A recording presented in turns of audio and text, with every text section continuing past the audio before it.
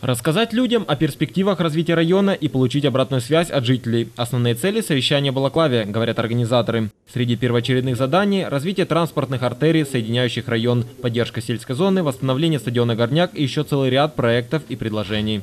Мы проводим очередную встречу с активом Балаклавы, как я и обещал.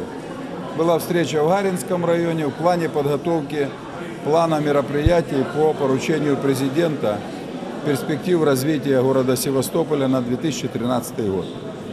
Мы послушаем людей, зададут вопросы и в соответствии с их предложениями формируем план действий по поручению президента, которые были подписаны после его приезда. Э, все перспективы, конечно, невозможно э, оторвать от действующих программ в плане того, что перечень объектов постоянно корректируется, в том числе и по заявкам районных советов, жителей, на основании просьб депутатов. То есть постоянно живой, дышащий организм – это их программы «Светлый город», и программа «Дороги», и программа канализования, питьевая вода, то есть то, что необходимо для города. И вот то перевыполнение бюджета, которое мы ожидаем, оно тоже пойдет на решение социальных и э, важных для города жизни обеспечивающих вопросов. Одна из важных проблем для Балаклавы – завершение строительства очистных сооружений. По словам Сергея Савенкова, этот вопрос будет решен уже в следующем году.